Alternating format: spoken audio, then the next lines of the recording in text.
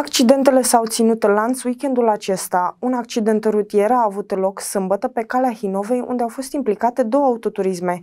În urma impactului a rezultat rănirea celor doi șoferi. Un accident grav a avut loc sâmbătă pe calea Hinovei. Două autoturisme de aceeași marcă s-au ciugnit. Șoferii acestora sunt din aceeași localitate, iar în urma impactului violent ambii au fost transportați de urgență la spital pentru îngrijiri medicale. Un bărbat de 61 de ani din localitatea Vlădaia, în timp ce conducea un autoturism pe DN56 ani afara localității Șilian, a intrat în coliziune cu un alt autoturism conduză un tânăr de 25 de ani din aceeași localitate.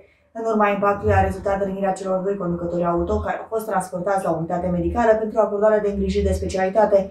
În cauză a fost întocmit dosar penal sub aspectul săvârșirii infracțiunii de vătămare corporală din culpă. Se pare că neatenția la volan face din ce în ce mai multe victime în județul Mehedinți.